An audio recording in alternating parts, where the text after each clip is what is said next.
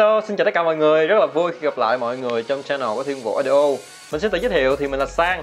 Hôm nay Sang sẽ giới thiệu đến mọi người 4 mẫu lo di động Bluetooth mini nhỏ gọn Được tích hợp pin mà giá chỉ dưới 10 triệu đồng. Thì đây sẽ là những dòng lo với những công nghệ cũng như là đến từ nhiều nhà hãng nổi tiếng hàng đầu thế giới như là Bose, JBL, Audio Pro hay là Marshall thì đây sẽ là một cái video clip tổng hợp mà mình giới thiệu đến các sản phẩm. Thì nếu mọi người muốn tìm hiểu rõ hơn về cái dòng sản phẩm này thì mọi người hãy bấm ngay cái link bên dưới để có thể là nắm được thông tin sản phẩm tốt hơn. Ok, để không để mất thời gian của mọi người thì mình sẽ bắt đầu đi vào phần chi tiết từng sản phẩm.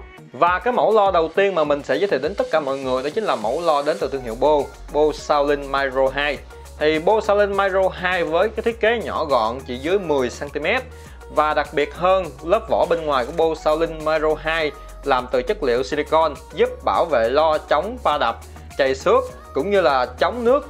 Thì theo như thông tin của nhà hãng đưa ra thì Bose Soundlink Micro 2 sở hữu công nghệ chống nước ABS7 thì với công nghệ chống nước này thì nhà hãng cũng đã làm một cái bài test và ngâm lo dưới độ sâu 3 feet trong vòng 30 phút. Thì uh, lo vẫn hoạt động bình thường và rất là bền bỉ. Thì Bose sở hữu công nghệ Bluetooth 4.2 Ngoài ra thì Bo còn tích hợp được uh, với app Bo Connect giúp cho chúng ta sẽ link được một lo hoặc nhiều lo lại với nhau tạo thành âm thanh đa kênh. Bo Soundlink Micro 2 còn có thời lượng pin sử dụng lên đến 6 giờ đồng hồ giúp cho chúng ta có thể sử dụng trong một thời gian dài. Đánh giá về chất âm thì Bo Soundlink Micro 2 sở hữu giải mid và giải chép khá cân bằng, âm thanh chi tiết và độ tinh tế cao. Tuy lo có kích thước nhỏ gọn nhưng âm bass vẫn cho ra sâu và mềm. Và đặc biệt hơn đây sẽ là sự lựa chọn hợp lý cho những ai yêu thích giọng vocal, giọng ca sĩ nhiều hơn. Với một mức giá tương đối vừa phải chỉ 3 triệu 590 000 đồng, Bose linh Micro 2 à, là sự lựa chọn hợp lý cho những bạn năng động, hay đi phượt cũng như là hay đi nơi này nơi kia bởi sự gọn nhẹ tiện lợi khi di chuyển. Sản phẩm thứ hai mà mình muốn giới thiệu đến tất cả mọi người đó chính là sản phẩm lo di động Marshall Tocqueville 2 đến từ nhà hãng Marshall thì Marshall là một nhà hãng đến từ Anh. Marshall Stockwell 2 thường được các bạn trẻ yêu thích bởi phong cách vintage và cổ điển. Thì lo sở hữu một thiết kế bên ngoài bắt mắt nên thường được sử dụng trong những cái buổi chụp hình cũng như là vật trang trí nhà cửa. Thì nói về thiết kế của Mason Tocqueville 2 thì lo có kích thước là 180mm với chiều cao, 160mm với chiều ngang và độ sâu của lo là 70mm. Ngoài ra thì phía trước và phía sau của lo được bao bọc bởi một cái lớp e căng bằng kim loại giúp bảo vệ các củ lo. Nói về Marshall thì nhà hãng thường trang bị phía bên trên những nút vặn chỉnh cơ, những cái nút âm lượng, những nút bass, rep, mid thì những nút vặn này sẽ giúp chúng ta chỉnh một cách dễ dàng đồng thời tạo nên những sự thích thú cho người dùng. Ngoài ra thì ở Marshall Tocqueville 2 còn được trang bị khả năng chống nước ABS4 kết hợp với Bluetooth 5.0 giúp chúng ta dễ dàng truyền tải âm thanh. Đồng thời thì Marshall Stockwell 2 còn được trang bị cho chúng ta một USB-C in và out. Thì cái ngõ này sẽ giúp chúng ta dễ dàng sạc pin cho lo. Đồng thời lo cũng là một cái cục sạc dự phòng để chúng ta có thể sạc pin điện thoại. Theo như thông tin mà nhà hãng đưa ra thì lo Marshall à, có dung lượng pin lên đến 20 giờ đồng hồ. Đánh giá một xíu về chất âm của Marshall Ờ, uh, Stockwell 2 thì dòng lo này mang một cái chất âm tương đối rõ ràng ở âm mid và âm chép giúp chúng ta dễ dàng nghe những dòng nhạc như là acoustic những bản nhạc thiên về vocal thì đây sẽ là sự lựa chọn thích hợp Dòng lo thứ ba mà mình sẽ giới thiệu đến tất cả mọi người đó chính là dòng lo đến từ thương hiệu JBL, lo JBL Boombox 2.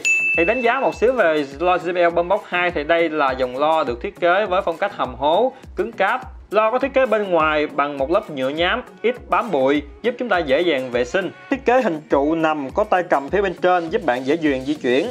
Thì kích thước của lo khá là lớn 484mm với chiều dài 201mm với chiều rộng đồng thời 256mm với chiều sâu thì lo có khối lượng là 5,9 kg chúng ta cầm chúng ta sẽ cảm giác là chắc tay hơn thì à, nói về màu sắc thì lo sẽ có hai màu chủ đạo đó chính là màu đen và màu xanh camo dễ dàng chúng ta lựa chọn một màu sắc thích hợp.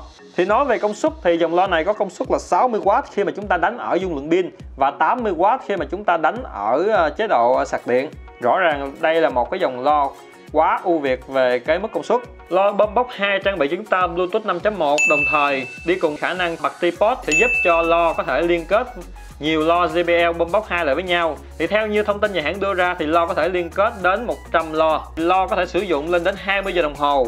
Thật sự đây là một cái dòng lo mạnh mẽ về công suất lẫn dung lượng pin. Đánh giá một xíu về chất âm của dòng lo này thì mình cảm nhận thấy lo JBL bơm bóc 2 sở hữu âm trầm sâu và mạnh, hoàn toàn thích hợp cho những bản nhạc sôi động, mạnh mẽ, nhạc EDM nhạc bass nhiều thì à, với dòng lo Boombox 2 thì chúng ta có thể sử dụng cho những buổi party, những buổi picnic của các bạn trẻ. Mẫu lo cuối cùng mà mình sẽ giới thiệu đến tất cả mọi người đó chính là dòng lo đến từ thương hiệu Audio lo Adon C3. Thì ở cái video clip trước đó mình đã giới thiệu đến mọi người lo Audio Ardon C5 rồi. Và phiên bản lần này Audio Ardon C3 vẫn giữ nguyên những tính năng của Ardon C5 Tuy nhiên thì audio Ardon C3 sẽ tích hợp pin và chúng ta sử dụng dễ dàng hơn.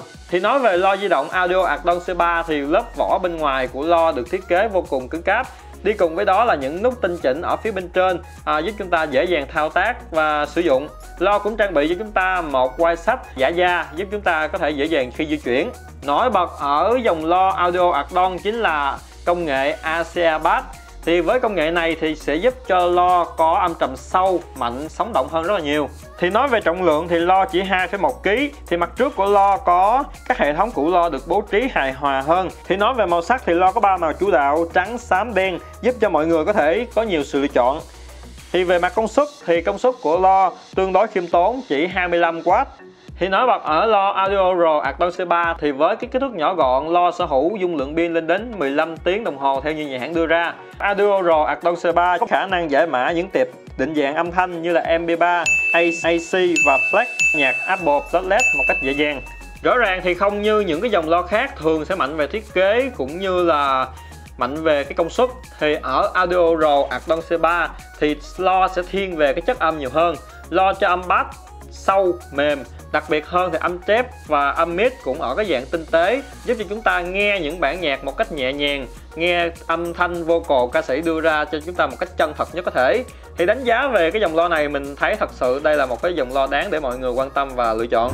Ok, thì vừa rồi thì mình vừa tổng hợp bốn mẫu lo di động nhỏ gọn dưới 10 triệu mà mọi người có thể tham khảo. Thì nếu như mọi người cảm thấy video hay, hãy bấm like, subscribe giúp kênh của Thiên Vũ. Xin chào và hẹn gặp lại mọi người ở những video tiếp theo.